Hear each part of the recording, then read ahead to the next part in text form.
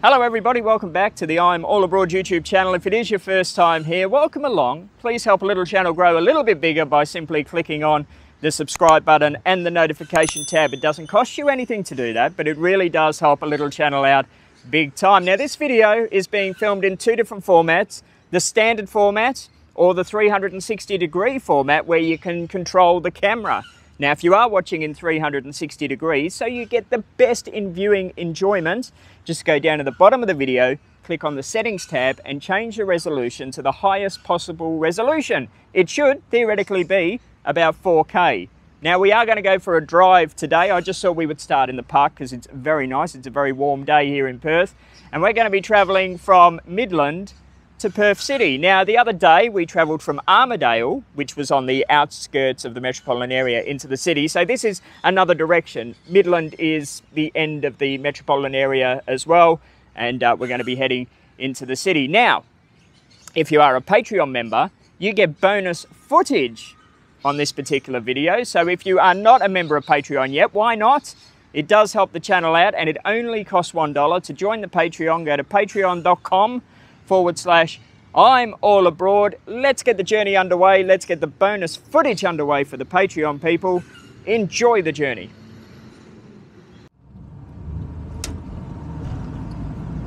And welcome all our friends on YouTube. I'm saying welcome because you see an edited version of this video. Our Patreon friends have been here for the past, I don't know, 15, 20 minutes, and we've been doing stuff and you missed out on it. So if you would like to see the extended version of this video, then head on over to our Patreon, patreon.com forward slash I'm all abroad. We would love to see you there. It does help the channel out. Now this is Midland. This is as far as you can go. The final train station on the Midland line. And that final train station is to the left hand side.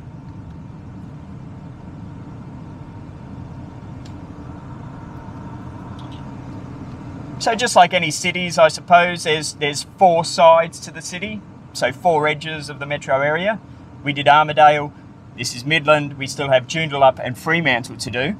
The, the weird thing about this, which you're going to experience as we go along, is Midland is closer to the city than Armadale, but it's going to take us longer to get into the city. Well, I think it is anyway, because this, what we're on now, is the main road. And in a city in 2021, I, I, I think they would have changed the road to make it more direct. You, you're going to see as we go along.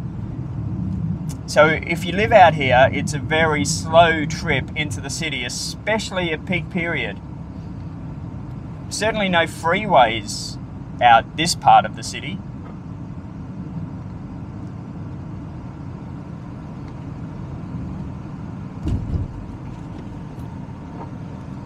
Now, I don't have much history or, uh, or knowledge on the trip that we're taking today. I'll try to throw in a couple of little things as we go along. Information might be right, information may be wrong, but I can tell you what Midland was all about. Out here at Midland was um, where our railways used to be made, at the Midland workshops. Uh, all our rolling stock for uh, Western Australia, and in fact, some parts of Australia, was made out here. So most of the people that lived out here in the good old days uh, were working at the factory. Factory closed down decades and decades and decades ago now. Um, and we started getting roller, rolling stock from the eastern states and, and rolling stock from overseas. But quite recently, the government that's in at the moment is doing a program called MetroNet, where it's going to more than double our current rail network and uh, we're going to make the rail cars here, which we haven't done for a long period of time. COVID helped in that decision. They thought, well, we've got to get people working again. Instead of giving them government money and, and you know, spending the government money overseas, why don't we get people working here? And then the money stays here. So they're working here, we're paying them here, um, we're using local goods here, it's, it's keeping the economy here going. So, uh, so the Midland workshops, even though on a smaller scale, um, is uh, re- reopened and they're making rail cars out there.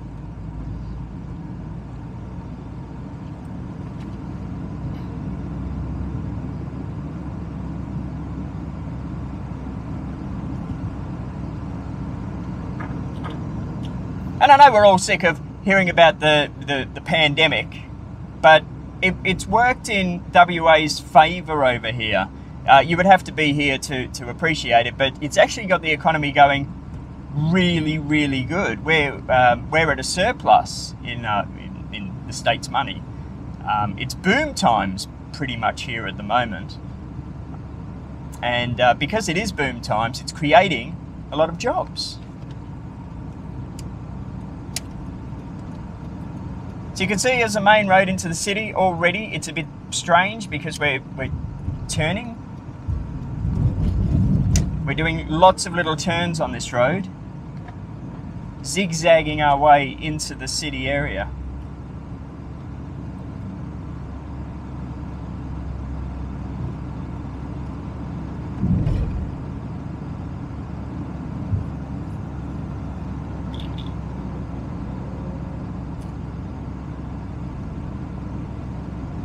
Another bend, quite a tight bend, 40 kilometers an hour. Maybe go a little bit slower so the camera doesn't go flying off the car.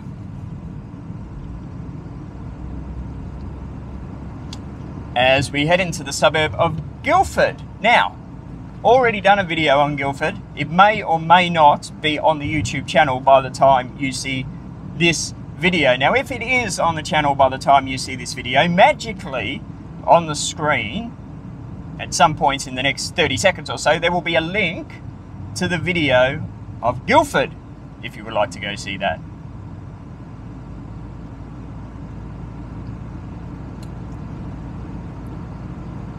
And we walked around Guildford, St Matthew's Church and the gardens there. That's uh, the resting place of my dad and my nana. Uh, lovely little church and garden area. And uh, we started at the train station because in the good old days again, I'm saying in the good old days a lot lately. Every now and again I get words or sayings that I use for like months. It's like a tick with me, I don't know.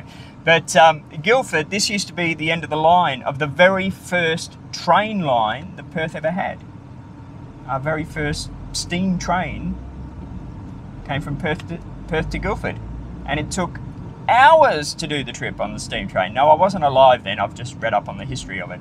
It took hours to do the journey. I think it was like two and a half hours. And uh, now, if you catch the train, it takes you about 20 minutes. In the car, it's going to take a little bit longer. And here it is. Here's the main strip of Guildford. Not a very big suburb, but I like the look of this suburb. It's pretty cool, I have to say. Again, highlighting, you know, the road into the city single lane now. Picture what this is like during peak period.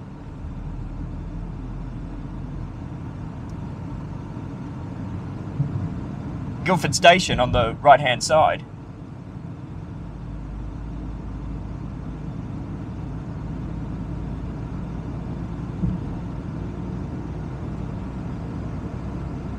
Mr. Police on the left hand side, very unusual seeing seeing police in Perth. They must be must live there. Must be watching Netflix or something.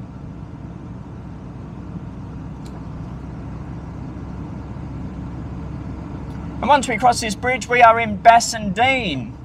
Now, here's where I'm going to give you 50% right information, 50% wrong information. A famous Australian came from Bassendean.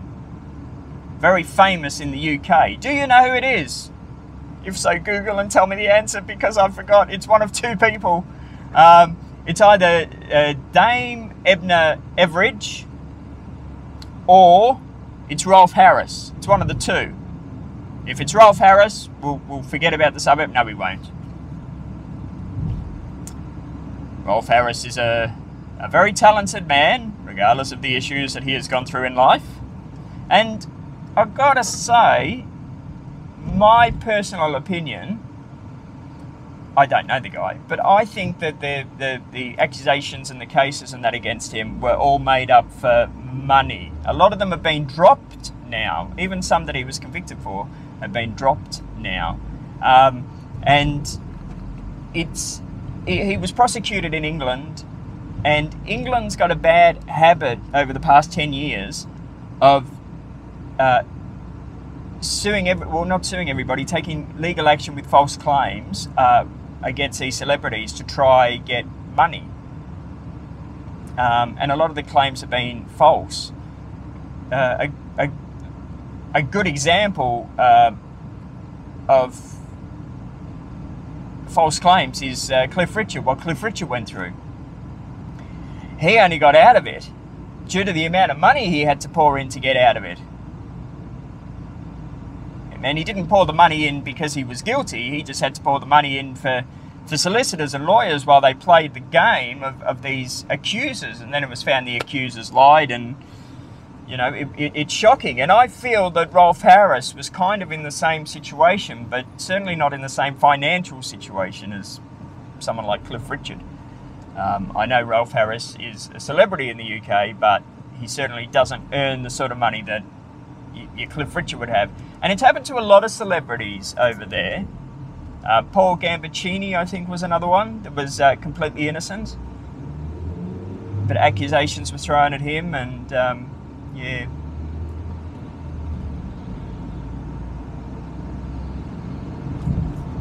It's going to be a shame though if it all comes out to be uh, false claims and everything. Uh, you know, once uh, Rolf Harris dies, because you know all, the work he's done in his whole life, um, to be pretty much forgotten about now. Shouldn't be forgotten about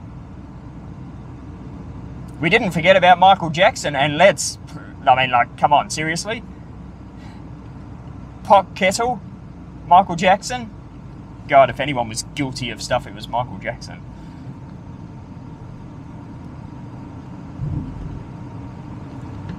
We've got really heavy in this drive, haven't we, in our little talks today? Um, you can see the road's narrow. We've got big trucks on here as well. That's what a nightmare this road is into the city. We're in the suburb of Bayswater now. On the right hand side, which you can't really see from here, you might be able to, um, is the Railway Museum of uh, Bassendean. I did say we're in Bayswater because we are, but it's called the Bassendean uh, Railway Museum.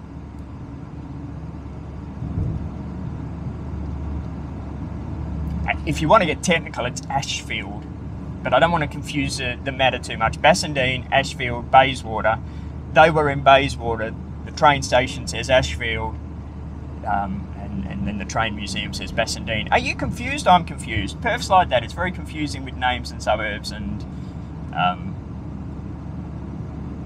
and um. We say and um when when I've totally lost my chain of thought and I don't know what else to say. Train line, of course, on the right hand side um, that we saw, the Midland train line.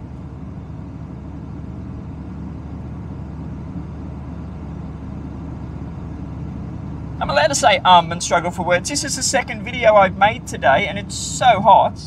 My brain is just fizzled, if that's a word.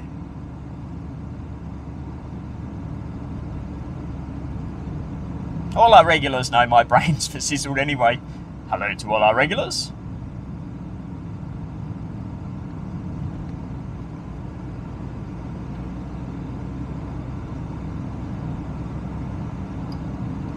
I, I would name all the, the, the regulars, but if I miss one out, I'll feel really, really bad. I don't want to miss one out because I like my regulars so much. They're like friends. They're not like people to watch. They're friends. Now, on the left-hand side, that factory there, used to be the biggest bingo in the Southern Hemisphere. And they used to give away like $10,000 cash prizes. Uh, here on the, the right hand side and, and left, this construction site is going to be a new train interchange, part of that Metronet I was telling you about. And this is going to be where the airport train joins the Midland line. It's a bit illogical, really, that the airport train is coming all the way out here, but, uh, but that's what they're doing. So what I'm telling you is the airport is to the left where it says Tonkin Highway uh, Morley. Well, it's not in Morley direction, but it's like down that way.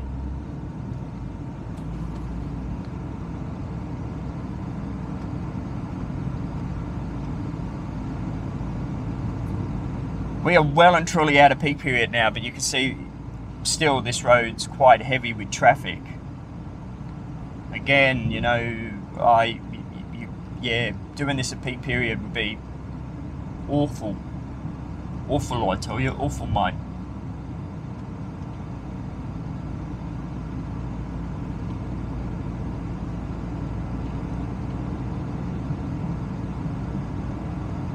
You turn the camera behind us, we have a car behind us, and then we've got a big, massive truck.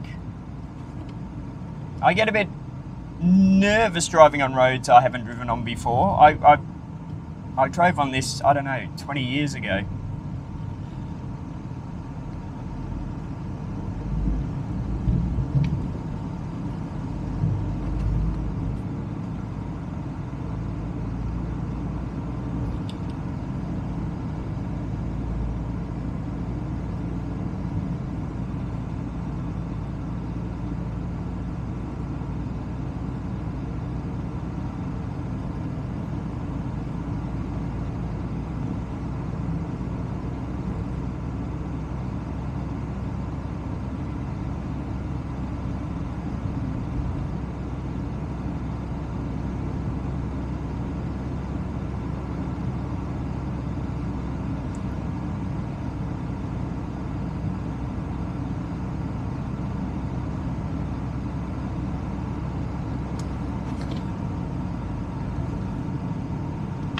Nothing to say, oh, well, that camera sign, that means red light camera. Um, because we don't have police, active police here in Western Australia, as I keep mentioning, uh, we have cameras everywhere, and the cameras fine you.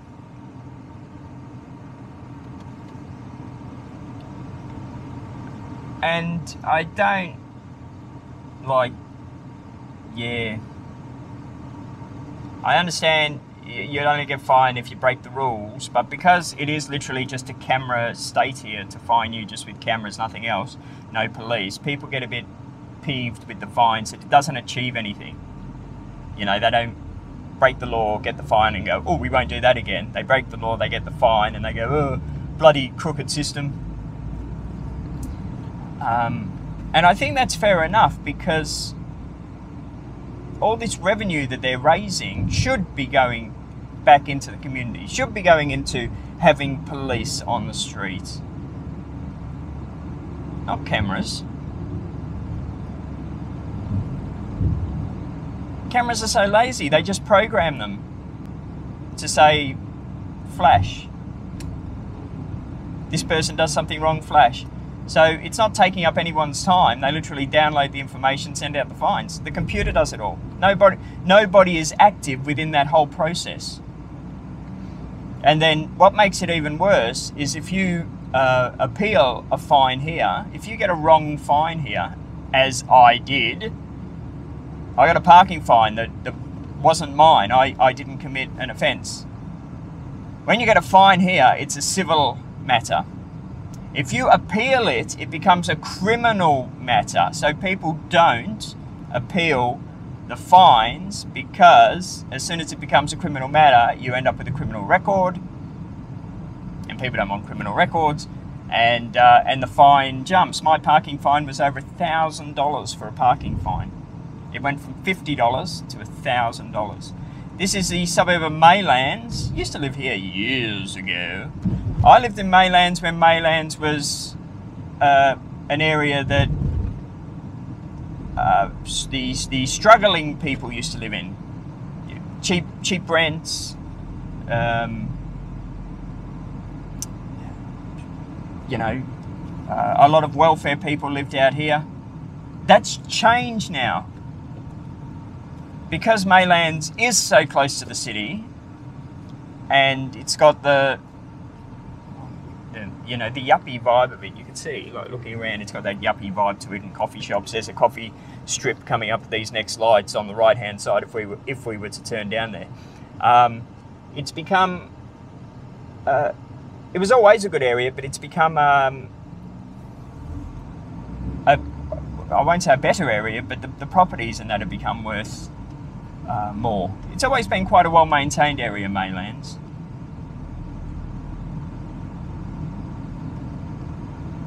It's also one of those areas that doesn't crop up on the news. You know, you don't hear about all the crime that happens in Perth.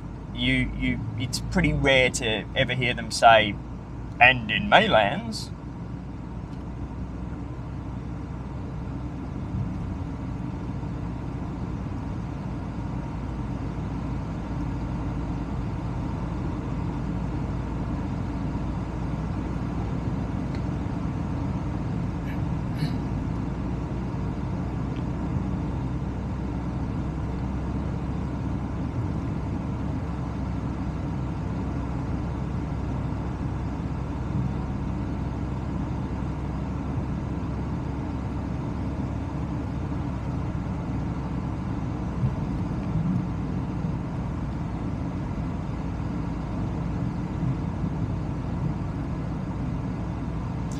lot of graffiti out here, I am noticing. Did you notice? I think every every uh, every wall we're going past pretty much has graffiti on it.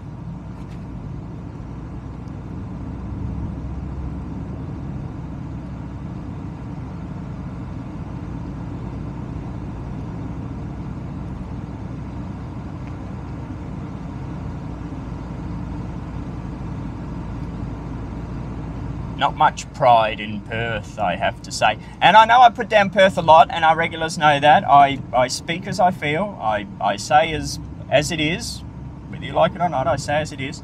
And uh, one of our regulars, Rimaru, is very, very convinced that I should be working for the tourist board of uh, Perth and Western Australia.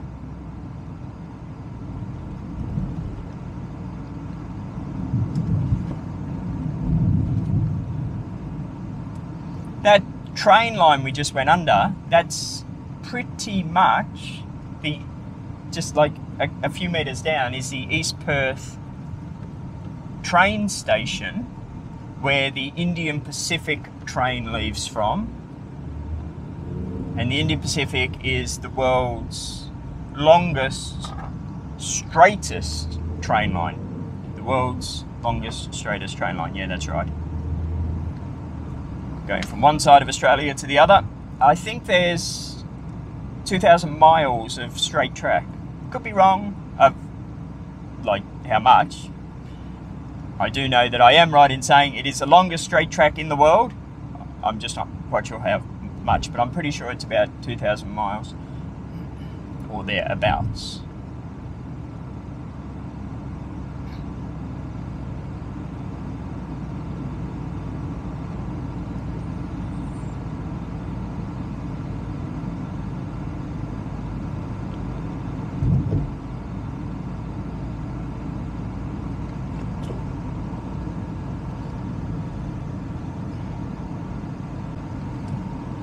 So we're now in East Perth proper.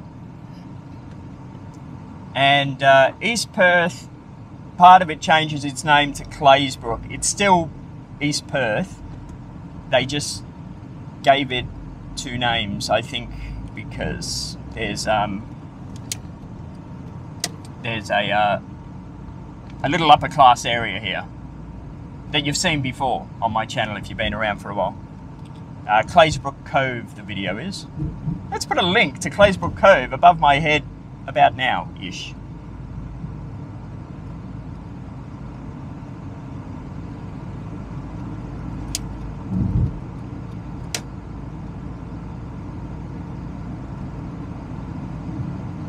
Graham Farmer Freeway, that was the tunnel we went through. Should I put a link as well? Yeah, why not? There's a link for the tunnel if you haven't seen the tunnel video. Gosh, by the time we can travel again, you are going to know everything about Perth. Google will employ me for Google Maps. They'll just say, we want all your footage. We're not going to employ anyone anymore. Perth City on the right hand side, you can see there the big skyscrapers. So this road sort of only goes to the East Perth side of Perth City. And again, you can see how illogical this road is because Perth City is on the right, but we have to turn left there's no way we can turn right or go straight ahead because that's a one-way road coming towards us at the moment.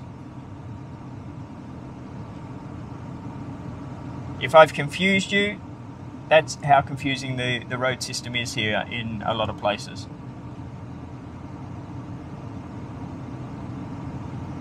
Sydney also has some pretty unusual roads, like you'll be in the left-hand lane and you'll come up to a set of traffic lights and on the other set of the traffic lights there'll be no left-hand lane.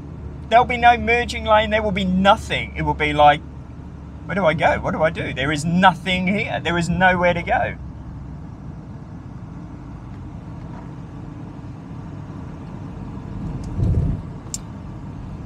Park on the left hand side. Uh, lots of trouble in that park on the left hand side. A murder there the other week. Hmm.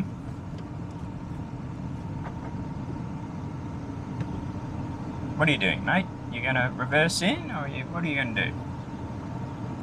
We're filming here for YouTube, thank you very much. You're, you're delaying us. I could have overtaken you, but we want to be in the left lane. People want to see things.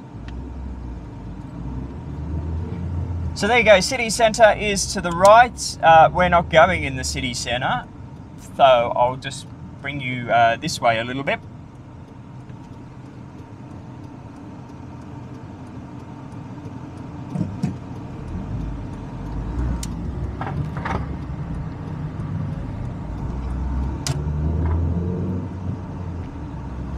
They put a, a new children's park in that play in, in in that parkland you wouldn't take your child there. My goodness, how how dangerous would it be there for the children?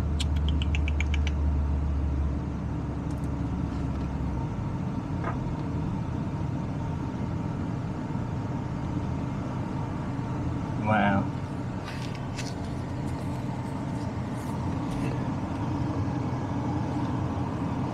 That's where a lot of the uh, drug addicts and alcoholics hang around in that parkland and sleep there and fight there and carry on there. There's a uh, police station coming up on the left hand side uh, at these next set of traffic lights.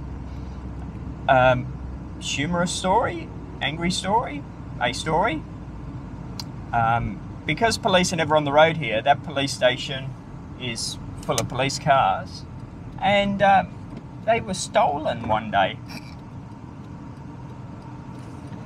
Police cars were stolen, and the police never um, knew or caught the or, or, or caught the people that were stealing the cars. Go figure.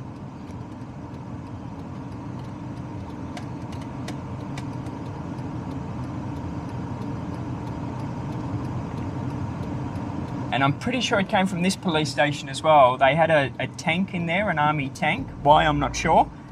That was stolen as well um, in the 80s, I think it was.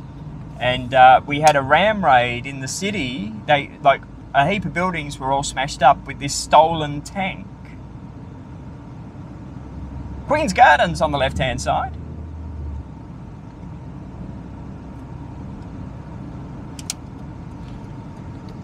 I'm just telling you as it is.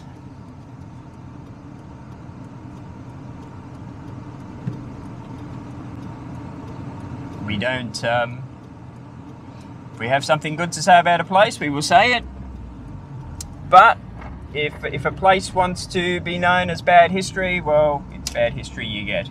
And uh, here's where we're going to leave you because I'm going to start another video from here. So, hope you enjoyed that. Wherever you are in this big, wide, wonderful world of ours, have a great morning, afternoon, evening, or night. Don't forget to hit the like button.